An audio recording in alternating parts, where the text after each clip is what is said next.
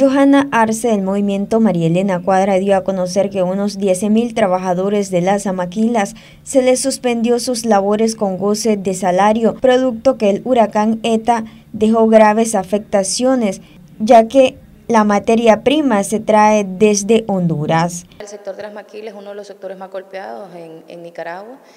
Eh, con la situación del huracán ETA, eh, se llevó, ¿verdad? Se dejó en vulnerabilidad, podríamos decirlo, algunas empresas de zona franca, entre estas, ¿verdad? El Movimiento de Mujeres Marilena Cuadra hace un monitoreo responsable de la zona franca, que son los sectores más vulnerables con los que trabajamos.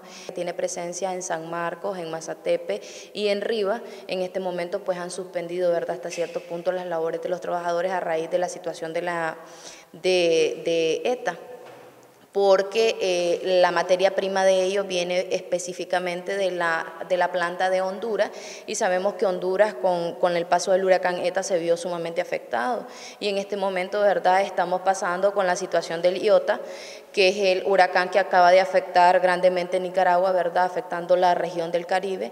Siempre pues hay un estado de vulneración de los derechos. Arce dijo que producto de los huracanes los precios de los productos van a subir y los más vulnerables son trabajadores del sector maquila. Recordemos que esto del huracán no solo conlleva una crisis que, que las familias nicaragüenses necesitan apoyo, ¿verdad?, eh, por la situación que se está pasando, sino también que se viene a generar una situación donde los precios de los productos también van a subir y los sectores más vulnerados en este sentido pues son los sectores de zona franca donde se tienen los salarios más bajos. Nosotros como Movimiento de Mujeres Marilena Cuadra seguimos haciendo verde este monitoreo.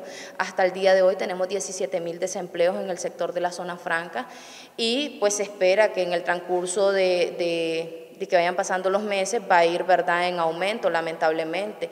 Esto conlleva que hasta un 50% o un 50% ¿verdad? son despedidos hombres y mujeres. Sin embargo, las mayormente afectadas son las mujeres, ¿verdad? porque siempre son las que están pendientes del cuidado de los niños, que son las que están pendientes del cuidado de la casa.